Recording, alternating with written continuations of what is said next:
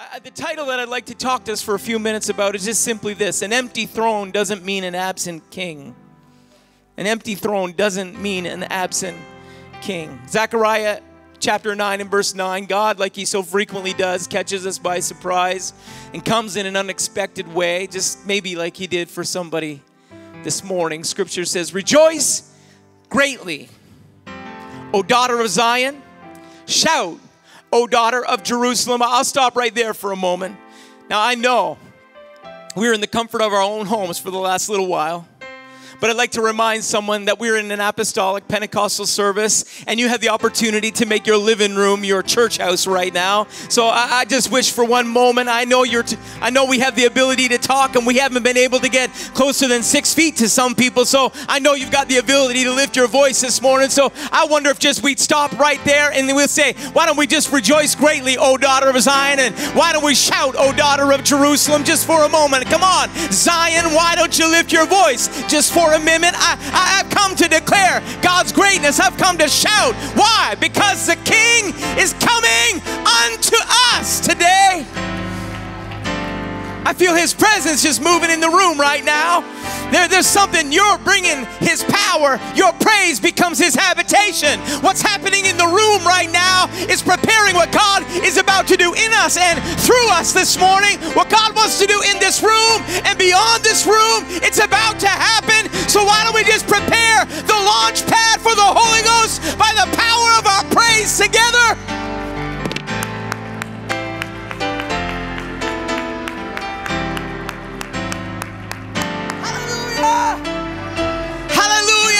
Rejoice greatly, O daughter of Zion. Shout, O daughter of Jerusalem. I, I just take it from that that Zechariah was saying there were some people who were a little too quiet. There were some people who were just a little bit too silent in a moment when they shouldn't have been. So he said, Rejoice greatly, O daughter of Zion, and shout, O daughter of Jerusalem. Behold, thy king cometh unto thee. He is just and having salvation, lowly and riding upon an ass and upon the colt, the foal of an ass. The God of glory riding on a beast of burden is an unlikely sight, no doubt. But Zechariah was saying, Get ready to rejoice because sometimes God's going to show up in the way that you don't expect Him to show up. Tucked away in the Chronicles of the Kings, we find a story of sabotage and intrigue. It's all there in your Bible if you read. You may well uh, mark it down. As long as there is an earthly throne, there's going to be a struggle for who controls the kingdom. It's in the 22nd chapter of Second Chronicles that we find this interesting story of how God works something in us during seasons of silence. When the earthly king strayed from the heavenly king's purpose, nothing good can come of it. And we find that happening in the book of Chronicles over and over and over again. The earthly king, why? His position was meant to mirror the heavenly one. And so, if and or when a king's humanity rose up against God's deity, God was always sure to let that king and the people know that God was still in control. Anyone ever had God do that for you? Anyone ever just try to rise up in your own kingdom for a little while and, and God just kind of says, oh no. No, no, no. We're just going to set you back down right there. We, we've all had that happen a few times, haven't we? When we, we, we just kind of make our own plan, we fulfill our own purposes, and we're walking along into our own destiny, and divine word from God comes, or a, a plan of God interrupts our plan, and all of a sudden our intentions are and God says, I just took a minute. I just had to take a minute and put you back down in your rightful place. You see, we, we too often try and crawl up on God's throne. Too often, if we're given the opportunity, we're, we're just kind of scrambling like a little kid wants to get behind the steering wheel of the car, right? Little, little, little, little kids, they, they like that power. They like that ability. And sometimes we're just too much like that. We want to climb up on God's throne. We want to get in, in control of the kingdom of our own lives sometimes too frequently. And, and, and so it's not, it's not unusual for God to say, oh, no, no, no, no, that's not for you. That's not for you to play with. Uh, you know, I, I, get a kick at a pastor. I noticed that as the grandchildren became coming around the office more often, that all the knickknacks left. I'm not, I'm not drawing any conclusions there.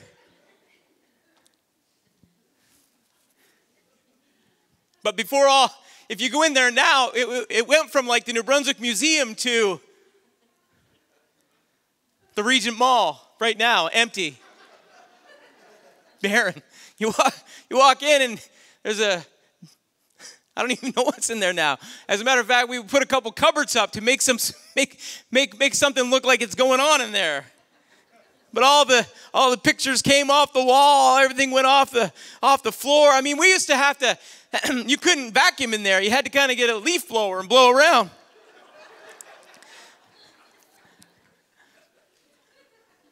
We it just I'm not, I'm not drawing any conclusions, but I think maybe I might be onto something there. I mean, maybe on be because before everything left, before, before everything vanished, before the room became an empty wasteland, barren with nothing but chairs and empty tabletop, I, I actually felt so bad. I had, you know, I'm not like Pastor, I'm not a knickknack collector. I, I got, you know, I had a couple things from Pakistan. I, I had one bowl that, I, you know, I have one bowl in my office. I took that out and set in the middle of the table in there. There's one little lone marble bowl sitting in the room all by itself, all by, all by its lone self. But I, I do remember before everything left that I used to hear, oh no, no, no. It was full time job. Oh no, we can't. Oh, we can't touch that. We. Oh no, we can't. We can't break that. Oh no, no. Oh, but so often our, our lives are like that because why? We, we're, we're, we're not mature enough to handle the kingdom, and, but yet we're trying to crawl up on the throne. We're, we're trying to get, a, get in control of, of our kingdom of our lives. And God so often has to say, hold on a minute. We just gotta, we gotta set you back down for a minute because sometimes we, we see a vacancy in what's happening in our life. We see a, a vacancy in the area of the throne, and we're thinking, well, I better get up and control my own destiny. I better get up and control my own life. I, I've got to get up and, and, and take control of what's happening. God said, No, no, just because I'm not on, on, that throne right now doesn't mean I'm not in control right now. Just because the, the throne is empty doesn't mean that I'm absent. I'm just working in another area right. I don't know God's omniscient. Don't, don't come at me with the comments. Just let me preach for a minute. Because somebody you need to know that you're trying to control what's God's. You're not the king. He is.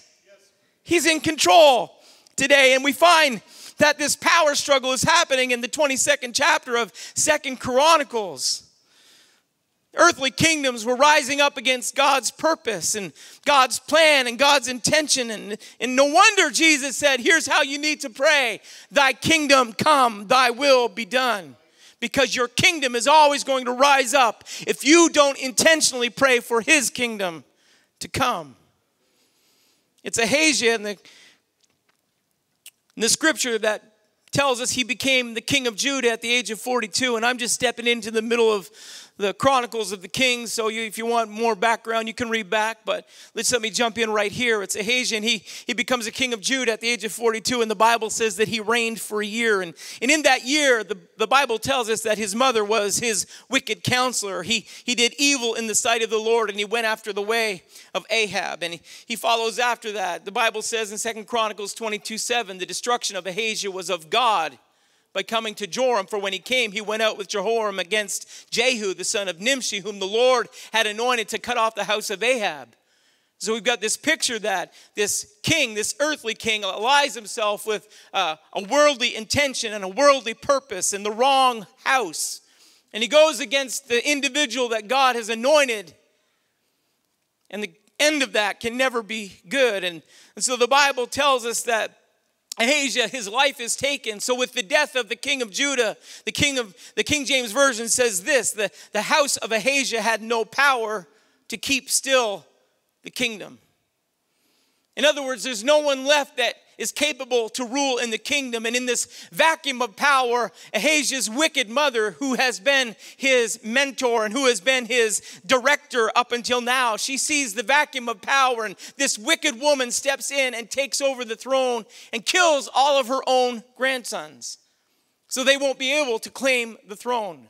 And would appear in this season like it's just this absolute chaos and calamity, and, and Judah's in a mess and they don't know where to turn. And in, in the midst of all of this chaos, there happens to be one woman. Can I just tell you that one person in God's hand is never a coincidence? In the midst of everything that's happening in our world right now, God is looking for one person to accomplish his purpose today. There was one woman, and I know I throw a, lot of names at you, and I'm just just barely telling the story because we don't have time to go through it all right now. But but in the midst of this chaos of an empty throne and a grandmother who takes out her own grandson so that they can't usurp the authority, and she steps in to fill the, the void of power that's there, and, and she's already lost her son, but she's so power hungry that she's just wanting to take over the kingdom and take over the throne. That in the midst of this, when she thinks that she's killed all the potential suitors for the throne. That there's one woman, she's a, the wife of the priest Jehoiada, and she manages, it just happens, or God ordains, that she finds the infant prince Joash. And while everybody assumes that the kingdom has been destroyed, she manages to get this infant boy and she takes him, and the scripture tells us that she hides him away. And for six years, the kingdom seems to be going forward under this wicked woman, Athaliah. It seems like it is being overthrown and her purpose is being fulfilled, and it looks like God's not in control right now. It looks like wrong is accomplishing all of its purpose and right is far from anything that should happen, but it's in this environment that something's happening behind the scenes and in the silence. Jehoiada, the priest, and his wife work to raise Joash. They raise him in silence and secrecy. They, they raise him in great security because no one can find out that they've got the prince under the roof of the temple. No one can find out that he's there because his life would certainly be in peril and theirs as well. But somewhere in the back of the palace, somewhere in the temple, you find that this little priest, pr- prince is being trained by the priest about what he needs to learn and what he needs to do. I, I, I don't want us to, to miss the moment right now, so let's just step in for a second. You, you never know what you train in this moment is going to come back to pay us back in the future. Our children need to be trained, and, and he was only in their control for six years, and he's not even their son, but there they are. Joash, you need to listen to me. You need to listen to the scripture here. Oh, Israel, the Lord our God is one. Why? Because they know on the outside, Ahab and Jezebel's influence is going to try and destroy the purpose and the plan of God. But if this priest is going to have anything to say about it, if this man of God is going to have any input, then he's going to take the time and he's going to train the come on, the, the prince, so he'll know about the kingdom of God. Is, is anybody grateful for your heritage today? Anybody grateful that somebody stopped for a few minutes to tell you about the goodness and the greatness of God? That somebody just kind of stopped up and said, Let me tell you something. I, I want to remind you that there's only one God and we've got to fear him. I, I want to talk to you about to some commandments that you need in your life because the world's going to challenge it, but you need to know deep in your heart there's only one God and it's only him that we've come to serve. I, I know we may have been taught it a long time ago, but would someone just let a little echo happen in the pew or in your home right now? I'm grateful that we know the God that we serve today.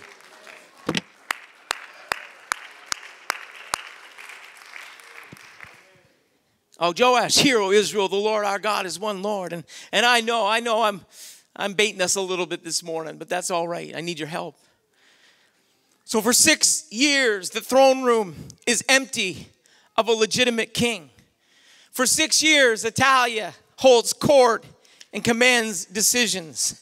For six years, she imposes her rank and requisitions her desires. For six years, she feels like she is the queen of the castle. Her regal reign would appear to be powerful, but she's not right and she's not anywhere near royal. She's nothing more than a cheap fake and a fraud because somewhere on the sidelines and in the shadow of the temple, the king is shadowing the man of God. The true kingdom is growing stronger and it's growing more powerful. The announcements may come from this fake queen, but the authority is resting elsewhere. No one is sitting on the throne in this moment because the king is still learning to sit up. No one's sitting on the throne in that moment because he doesn't have the ability to lead. But can I tell you that your ability is not an indicator of your authority today? Someone you need to know right now that maybe you're a little lacking in the ability department, but you're not lacking in the authority department because God has placed His name over your life. I just someone to remind themselves about who they are. I am a child of the King, I am royalty. I've been bought with His blood, I've been grafted in the vine. I'm a king's kid today. I'm a king's kid today. Sometimes we just need to, uh, the little meme going around right now. I told someone this week, I said, I think it's, it's so cute. It says something like, you know, when, when life bangs you around a little bit, you got to just kind of take stock of what's happening, adjust your crown, and realize who you are. We're king's kids. Come on, if your neighbor's in your bubble, tap them, say, You're, you're a king's kid. We're king's kids today. That's who we are. When the enemy comes in like a flood, you need to remind yourself, ah, uh, I'm a king's kid. The only one that can take you down off the throne is the King of Kings and the Lord of Lords when we try and crawl. But, but I tell you what, you're a prince, you're a princess in God. Remind yourself about who you are today. You are a king's kid. Your ability is not the indicator of your authority. Because if it was about ability, a six year old child doesn't have a whole lot of ability to lead the kingdom, but yet they're grooming him and they're preparing him to come out because come out in his place of authority, come out in his place of power. Why? Because he has that authority.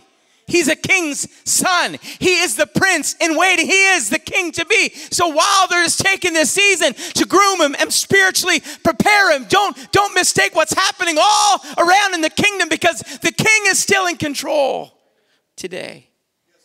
The king is still in control of what's happening around us. Newsflash.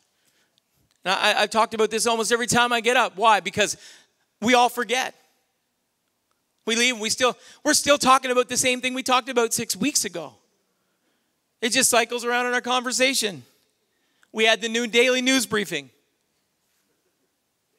It's like, seriously, come on. And if you're not careful, all of a sudden the wrong people are on the throne of your life and they're determining the decision and they're determining your attitude and your, your feelings. They're determining how your day is going to go by what they've got to say. Can I just remind someone right now, they're not on the throne of your life. They're not royal, they're not regal, they're not in control of anything that's happening. God's well in control. He's still able to manage. And if you're, eh, eh, it's happening in the sidelines, it's happening in the shadow. God's just kind of bringing us back together to remind us, get ready because I'm about to do something. Declaration is in the room. The, the power of the prophetic is ready to work if we're ready to receive it. So I wish we'd just get our spirits right and get our spirits ready because the way that it looks on the outside isn't even reality. It's not the way that it's happening on the inside. The king is still in control. The king is in control today. The true kingdom is growing stronger and it's growing more powerful every single day. And you need to remind the enemy because the enemy, in a moment like this, he's been around 4,000 years. He ain't stupid. So when he comes in, in a moment like this, he's going to come in like a flood. But the Bible gave us commandment when he comes in like a flood, the Spirit of the Lord shall lift up a standard against him. And I feel it rising up in the room right now. I feel it rising up in my spirit right now. Why? Because he's come in like a flood. But it's in that moment. Don't get looking at the flood. Get looking for the rise of the Holy Ghost that's happening in your life. Get ready for the rise of authority. Get ready for the rise of power because he's not on the throne. The king is ready to come if you'll let him. The king shall come in and lift up a standard against him, is what the Bible says.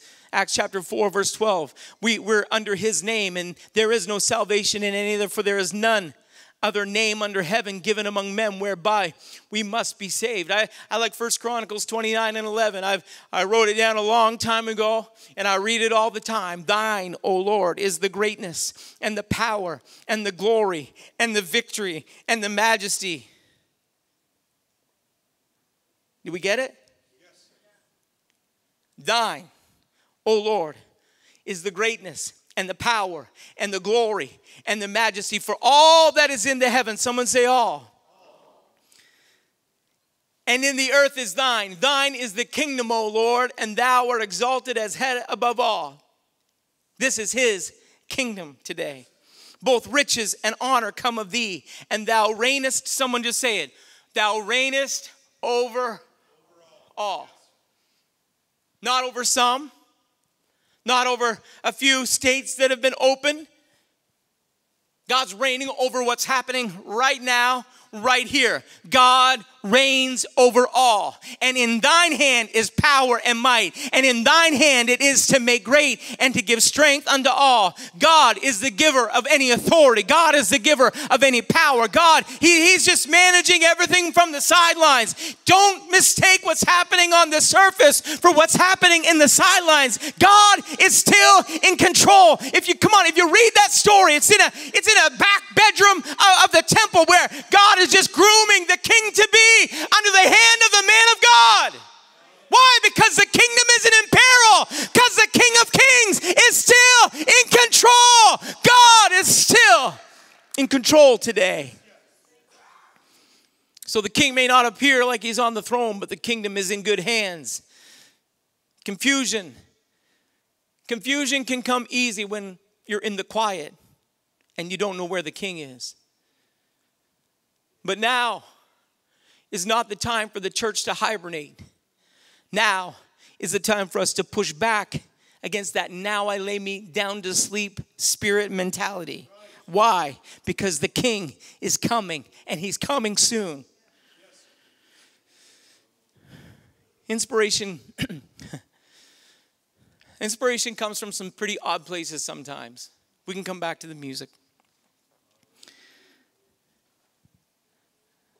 Hulk Hogan. Anybody remember who he is? Wrestler. Hulk Hogan. I kind of take note because, you know, we've been a part of the board on the church in Clearwater, and, and the pastor Anthony Ballestero, he said, you know, I, I run into Hulk Hogan frequently in Clearwater. Not because he goes to the wrestling matches, but that's where Hulk Hogan lives. And he said, you know, he's, he's quite a gentleman, really. You know, when you get them outside of the. I haven't come to elevate anybody today, but it was Hulk Hogan that wrote this, and it got my attention. So, from the great, we'll say it like from the great theologian Hulk Hogan, he wrote this a little while back. He said, it's profound. He said, in three short months, just like he did with the plagues of Egypt, God has taken away everything that we worship. God said, You want to worship athletes? I'll shut down the stadiums. You want to worship musicians? I'll shut down civic centers.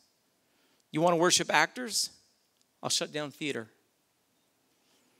You want to worship money? I'll shut down the economy. I'll collapse the stock market. You don't want to go to church and worship me? I'll make it so right now you, you can't go to church. And if my people who are called by my name shall humble themselves and pray and seek my face and turn from their wicked way, then I will hear from heaven and will forgive their sin and will heal their land. Now, that's still Hulk Hogan. He said, maybe we don't need a vaccine. Maybe we need to take this time of isolation from the distractions of the world and have a personal revival where we focus on the only thing in the world that really matters Jesus. So it is interesting to me that all of the earthly idols, and yes, I called them idols, and thrones and kingdoms of pop culture have been deposed. Maybe temporarily, maybe just for a season, but they have been. In sports, the Tokyo Summer Olympics canceled, Boston Marathon canceled, NHL, CFL, NFL, MLB, NBA, and NHL canceled. For those of us that don't know much about sports, that's basketball, football, soccer, hockey. Canceled. Entertainment, Broadway canceled. Film festivals canceled. Music award shows canceled. The Tony Awards canceled. Kentucky Derby canceled. Bon Jovi canceled. Taylor Swift canceled. Burning Man canceled. Burning Man is the closest thing to Nebuchadnezzar erecting an idol in the desert that I've ever seen. It was this odd picture. It was like, I like one. I just said major events that have been canceled. Google. Burning Man is this huge man that they build and burn in the middle of the desert. I didn't go any further than that. I, all of our world's idols have been silenced. If you've ever seen some of these festivals, they're places of worship for sure. And the idols of our life have been silenced for a season. And I can't help but wonder if it's because God wants to take his throne.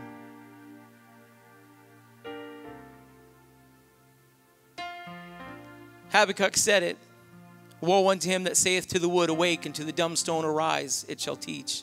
Behold, it is laid over with gold and silver, and but he said this, there is no breath in it. There's no breath in it. It's just veneer over a substance. But that's not where Habakkuk stopped. In verse 20, he said, But the Lord is in his holy temple. Let all the earth keep silence before him. And, and, and so I'm not going to go back through and read the whole list of everything that's been canceled, but all those things that have been canceled, canceled, canceled, canceled. Guess what? The kingdom, not canceled. The kingdom, not canceled. God still in control. There isn't anybody. Uh, don't mistake, get ready. God's preparing. He's doing something in us because someone else would say, well, church has been canceled. Church has not been canceled. Church has been relocated. Church has been repositioned. Church has been revived. Church has been put in position. Church has been prepared. Church has been, come on, to the hungry man, a bitter thing is sweet. You miss a little bit of this for long enough, and you're about ready to do whatever you got to do to get back in the house of God. What are we getting ready to say? The king is coming. Get the throne prepared. Just let me close. And in the seventh year, Jehoiada, that priest strengthened himself and he took captains of the hundreds and he went about in Judah and he gathered the Levites out of the cities of Judah. Everybody was saying, Oh, yeah, the kingdom's in disarray, the kingdom's in the control of this evil woman, the kingdom's messed up, the kingdom's out of control. And, and he just he just silently he begins to gather the captains of the hundreds and he sends out the captains of the hundreds and they bring the Levites in from all the cities. What, what's Jehoiada doing? He's saying, Ah, the kingdom's not in disarray. We're just preparing for the greatest revival we've seen in our lifetime he just begins to bring the priesthood in and he begins to give them instruction. He tells them what they've got to do and how they go about doing it. And, and this is how we're going to prepare because, because I want to tell you something. The king is coming. I feel the Holy Ghost right now. I feel anointing on the top of my head and just beginning to flow down. I, I want someone to know right now that the king is coming. The kingdom's in good hands. The king is in control today. And he prepared all the people and then he got them all ready and he stood them up. The Bible says from the left all the way to the right, he prepared the priests and he said, Now who's this is who you can let in and this is who can't come in. And, and he reveals to them, he shows them the priest, the, the prince that's been in waiting. From the right side of the temple, what a sight it must have been. Every man had his weapon in his hand. They had the, the, the shields of David that had been kept in security in the, in the temple, and, and they had that all prepared and out in array. And, and this mighty spectacle, this army, not obedient to the queen that was in control, but prepared for the king that was about to come. And the Bible says that they brought out the king's son and they put him put upon him the crown and they gave him the testimony and they made him king. And Jehoiada and his sons anointed him and God and, and said, God save the king. I wish someone would realize God is still in control. The king is coming. The king's ready, but we've got to be ready to put him on the throne of our lives today. You can stand together with me. Second Chronicles chapter 23, verse 12. Now, when Athaliah heard the noise of the people running and praising the king, you imagine? Here's her kingdom, and all of a sudden, everybody is given obeisance to, to this other one.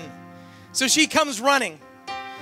Literally, that's what the Bible says. She heard the noise of the people running and praising the king. So she came to the people into the house of the Lord. And she looked, and behold, the king, the king stood at his pillar at the entering in, and the princes and the trumpets by the king, and all the people of the land rejoiced. I, I wish someone would just begin to drown out the sound system for a moment. All the people of the land rejoiced and sounded with trumpets. Also, the singers with instruments of music and such as taught to sing praises. Come on, they just began to have, have this celebration and this rejoicing, this, this declaration. Ah, the king is here. She's about ready to get deposed. She's about ready to be defeated. That earthly system that has set itself up against the purpose of the kingdom of God is coming down.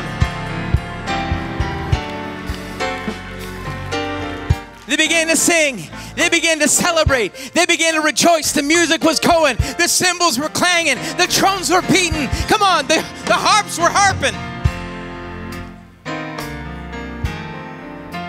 And Jehoiada the priest, he said, he brought out the captains of the hundreds that were set over the host, and he said unto them, Have her forth out of the ranges, and whoso followeth her, let him be slain with the sword. For the priest said, Slay her not in the house of the Lord. So they laid hands on her, and when, when she was coming to the entering of the horse gate by the king's house, they slew her there. God's about ready to tear down the kingdom of the world, so the proper kingdom, the right kingdom, the right king can take the throne today. I want to be part of that kingdom this morning. Hmm. Final verse. Lift up your heads, O ye gates, and be lift up, ye everlasting doors, and the King of glory shall come in. My question this morning is What's worked its way into your life? What's wormed its way into your heart? What's warred its way onto the throne of your life today that needs to get deposed? What what's in your life that you got to remove? What what's kind of set itself up and it's made this declaration of control? It's made this declaration of authority. It's made this declaration like you can, you won't, you shouldn't, you, you never will. What kind of declaration has the devil, the liar, been making in your life that you need to kind of say, I'm just going to pull you off the throne throne for a minute because the King is coming into my heart. The King is coming into my life today. It's time for the King to come. Lift up your heads. O ye gates, and be lifted up, ye everlasting doors, and the King of glory shall come in. He's prepared, he's ready, he's, he's wanting. Get ready. Who is this King of glory? The Lord strong and mighty, the Lord mighty in battle. Lift up your up your heads, O ye gates, even lift them up, ye everlasting doors, and the King of glory shall come in. Who is this King of glory? The Lord of hosts. He is the King of glory today. Can you just make that your prayer? God, take your place in my life right now. God, take your place in my heart right now.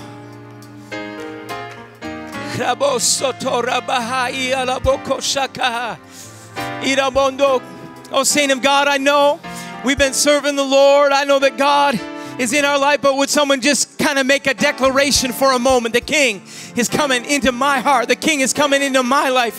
I'm going to be part of that kingdom. Come on, I'm going to be part of that kingdom in my home. I'm going to be part of that kingdom on my job. I'm going to be part of that kingdom. Come on, in, in my community, I, I'm going to be part of that kingdom today. Father, I, I give you great praise, I give you honor, and I give you glory. God, I thank you for your word and the challenge that comes. And God, that anointing that we're feeling in this room right now. I'm asking that you would destroy every yoke of bondage. I pray that every lie of the enemy would be silenced and your word would take precedence right now.